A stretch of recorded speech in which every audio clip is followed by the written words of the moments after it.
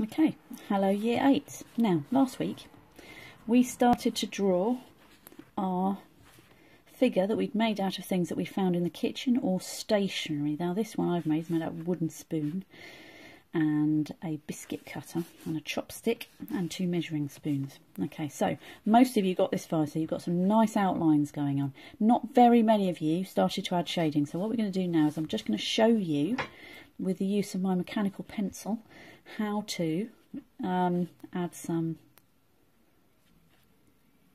darker and medium tones to your to your drawing okay? And that will make it look more like an object and less like just a collection of lines on a page. Okay so I'm going to start with my darker tones and I can see one here. I'm just using a photograph so you can you can use the object if you want to. You can just use a photo if you want to so I'm going to start here because I can see there's a bit of shadow on my biscuit cutter. Now this is on the PowerPoint, this photograph is on the PowerPoint and I'll put the picture on too if I can just so you can see. Now we've talked about this before but the key to shading is blending and one of the keys to blending your shading is to use a quite a blunt pencil. Now this is mechanical pencil, it doesn't look blunt but actually the edge of it is quite nice and soft. So if you can get hold of something that's got a nice soft edge, then that will make it much easier. Now the other key is about pressure. So you can see this dark area here. I'm pressing quite hard with a pencil. Now that might feel like it's like, yeah, no brainer. But sometimes it can be harder than you think just to get those dark tones in. And this bit here is this is just the shadow on the outside. And that's really important when you're trying to make something look like it's a solid object. is not to leave it floating in space. So make sure that you add a bit of the shadow. So this is casting a shadow where it was, where it was sitting on the table. And you can see here, this bit, I've pressed quite hard with my pencil right next to the biscuit cutter and as it comes out the shadow moves outwards. I'm pressing less and less and less hard. This is just an ordinary HB pencil. It's just I got these from Wilko's these pencils. It's, it's nothing fancy. It's just about the pressure. Now please do not be tempted to smudge this with your fingers because I will be able to tell and it, you don't get quite such a good result. Okay I'm coming back in here quite gently. So if you're worried about not being able to blend your shading. The key is just to start really gently, really, really gently. And then you can see I just go over and over that bit. Just go over and over and over, very, very gently. Just build it up really, really, really carefully. Okay, and you can see I've gone over that bit and I shouldn't have done. I'll come back to that in a minute. So,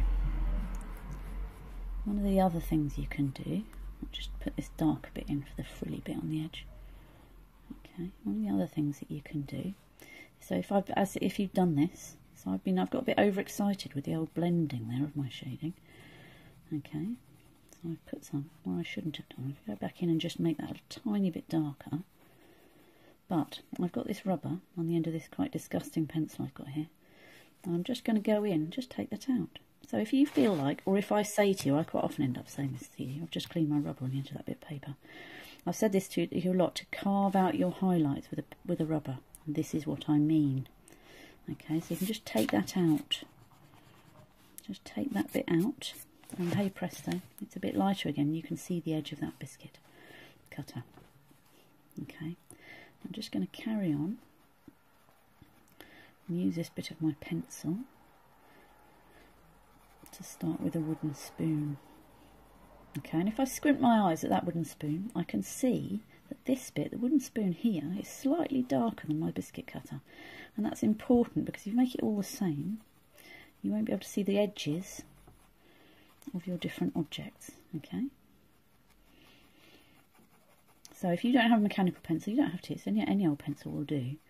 But make sure, try and make sure it's blunt. And if you've only got a sharp pencil, just get rid of the edge on the side of your paper.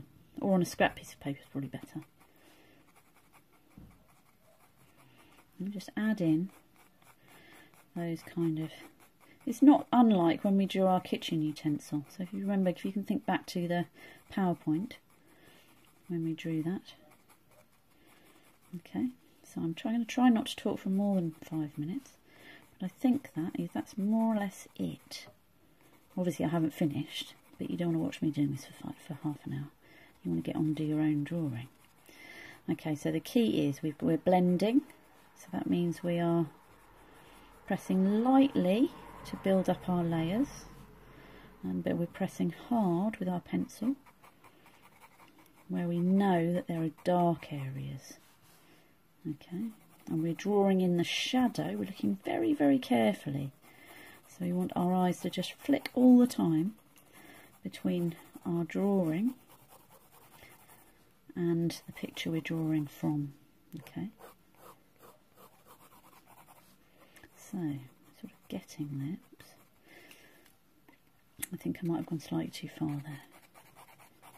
Okay, but hopefully you can start to see it's looking a little bit more like a collection of objects and less like a line drawing. Okay, good luck. Any problems, let me know.